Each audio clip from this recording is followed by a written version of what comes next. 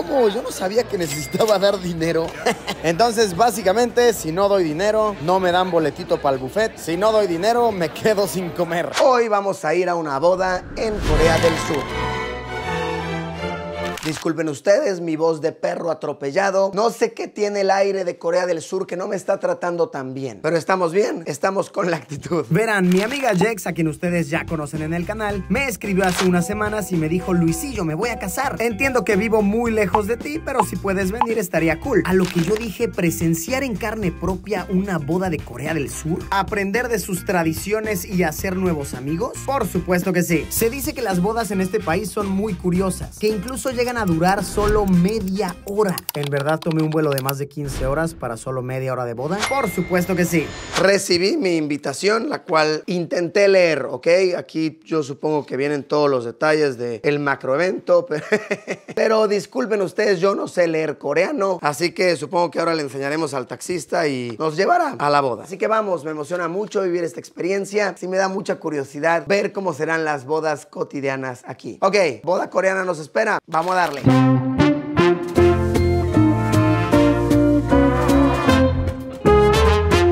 Chao, viene aquí con nosotros. Estamos listos para Mírate, eres un pingüino, enseñas look, mocasín y todo, mírate. ¿eh? Yo opté por el color azulado. Nos dijeron que no lleváramos corbata, pero pues aquí un brillantito nada más para verse uno mamoncito. Zapatín, un pequeño botín. Ojalá le hayamos dado la dirección bien al taxista, porque de coreano no sabemos nada. Le enseñamos la dirección y nos dijo así, vamos, vamos. Y se fue. Estamos confiando en nuestro carnal. Hemos llegado. Me siento como en una escena de drama coreano. ¿Crees que pregunten aquí así de alguien se opone o no? No creo, no. Aquí las bodas coreanas son más diferentes, es más sencillo. No pasé ni 10 minutos en el sitio y ya me estaba sorprendiendo con cosas, vaya que curiosas. Y es que yo no sabía que tenía que llevar dinero en efectivo. Así es, en Corea del Sur, en vez de darle un regalo al novio y a la novia, es como si pagaras tu propio consumo con dinero. Yo no traje dinero, yo no sabía que tenía que ¿Tienes, traer te, dinero. Jax te mandó la invitación ahí tiene para que transfieras.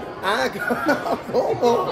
Ay, ¿No yo, no sabía esto. Y solo si compruebas que diste dinero de regalo es que te dan boletitos para comer después de la ceremonia. Cuando tú vienes a una boda a Corea, siempre tienes que dar dinero. También la cantidad de dinero que tú vas a dar depende si la persona con la que vas a la boda es cercana o es lejana. Si es muy cercana, entonces tienes que soltar un poco más de lana. Pues la verdad me siento un poco mal porque pues no traje dinero realmente. Entonces, pues lo que sea que traigamos aquí, vamos a dejarlo. Pues básicamente como funciona es así. Pones tu nombre, ¿ok? Aquí escribimos de Luisillo. No que esté muy orgulloso de este sobre, la verdad. Más bien al poner mi nombre fue como quién fue el tacaño que me dio, que me dio tan poquito. Y bueno, pues ahora este sobre lo dejamos allá y ya nos dan vales para comer. Ok, te- traen aquí, ¿cómo te llamas? Jonathan, el buen Jonathan habla español en la recepción, porque como viene mucho invitado latino, me imagino, bien pensado. Entonces, ¿qué cómo funciona aquí? Firmo, recibo cupón y ¿dónde dejo el sobre de donaciones? Contigo. Ay, yo dije. Ahí está, ¿eh? Ya podemos comer. A muchos les parecerá curioso esto, pero a mí me parece muy justo. ¿Alguna vez han hecho números de cuánto cuesta casarse de nuestro lado del mundo? Invitarle la comida y la borrachera a decenas, tal vez cientos de personas es demasiado costoso. Yo prefiero que cada invitado se pague lo suyo. Ellos son los papás de Jex. ¿Cómo están? ¿Bien? Bien, bien, bien. Qué bueno, bien. Miren cómo la mami de Jex, muy bonita, trae el traje tradicional, muy hermoso, el traje muy hermoso. Y un señor muy elegante. Miren cómo el papá de Jex se ha puesto guantes. Esto es tradición coreana, ¿cierto? Porque como están saludando a todos los invitados, se ponen un par de guantes blancos. Mientras seguía caminando por la boda me di cuenta de la siguiente cosa muy interesante y es que en las bodas coreanas las fotos son más importantes que el momento real. Esto con el pretexto de que lo que queda de la boda son realmente las fotos. Es lo que vas a compartir, es lo que la gente verá de tu ceremonia. Y vaya que se toman muchas fotos. Primero con la familia, luego con la mamá del novio, luego con las dos mamás, luego con cada uno de los amigos. Sí, para la novia y el novio esta es una sesión de fotos bastante cansada. Querida Jex. Querido Luisillo. Gracias por la invitación, querida Jex. No, Muchas gracias, de verdad. ¿Emocionada? Emocionada especialmente porque, o sea, me siento muy bendecida de que haya gente que pueda volar tantas horas Exacto. y venir a ver esta ceremonia de 30 minutos. Digo, wow, no podría, pero qué bueno que están aquí. Muchas gracias. No, lindísimo. Muchas felicidades. Estoy muy feliz por ti. Ay, gracias. Felicidades.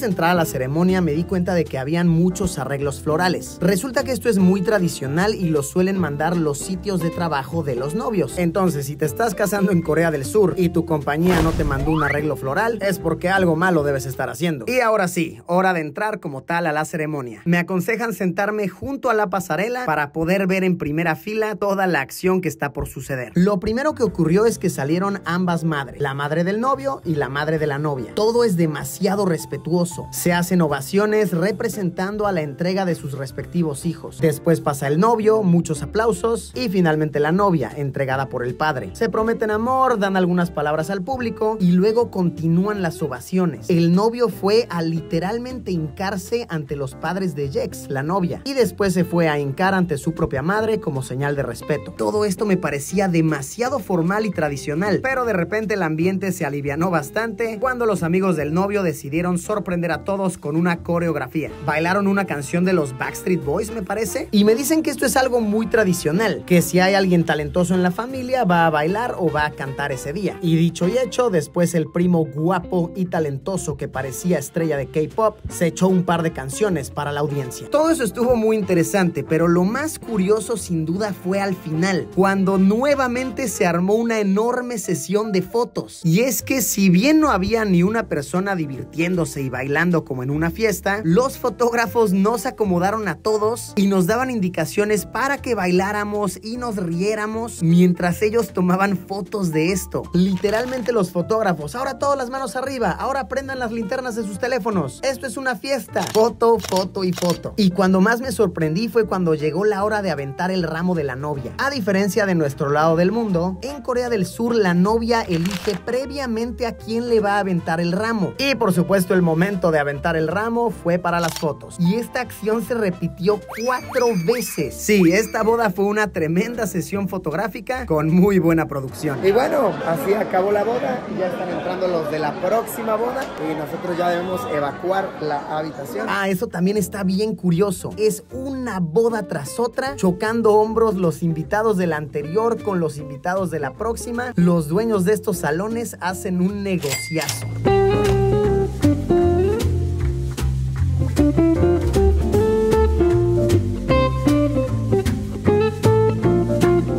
Oigan, no, pues sí vale la pena el buffet, vean esto, ¿eh? Está de verdad jugoso. Hay de todo, que si ensaladas, que si lo que quieras. Uno desquita su boletito, ¿sí?